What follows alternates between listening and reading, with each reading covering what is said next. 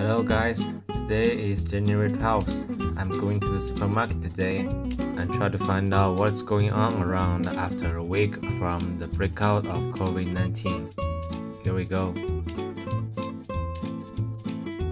As you can see, these tents are empty.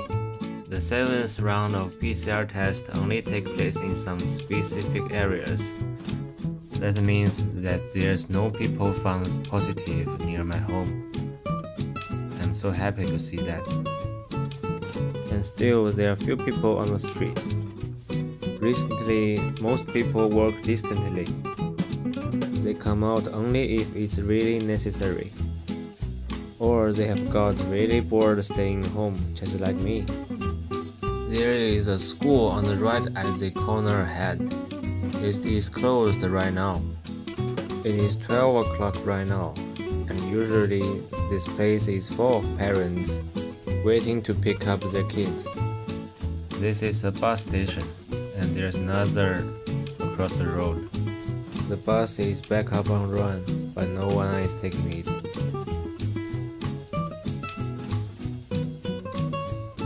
The junior school I mentioned is just 100 meters from here. I don't understand why these junior students still need picking up.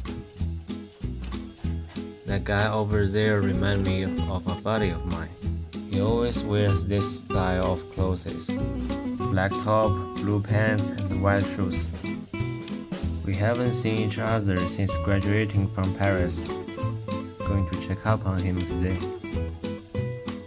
Some stores are already open, but it seems that there are no clients.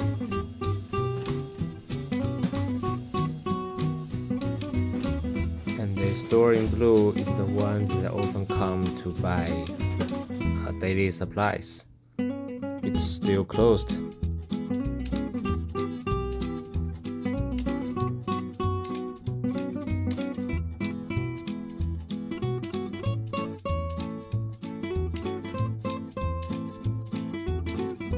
That building across the road is a hotel. It's always in a bad situation 2020. There are barriers in the end of the road. People from outside can go in, and when people inside want to come out, they will need a certification of PCR test within 48 hours. The supermarket is red hat on the left. And for the entrance, I will need a health QR code and also the temperature examination. Although the breakout of COVID 19 this time was really sudden, people are not in panic. All basic daily supplies was guaranteed.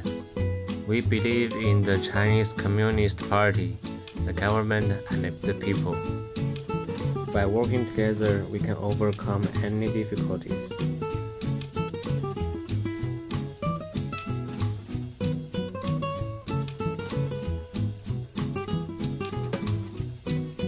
There I'm back.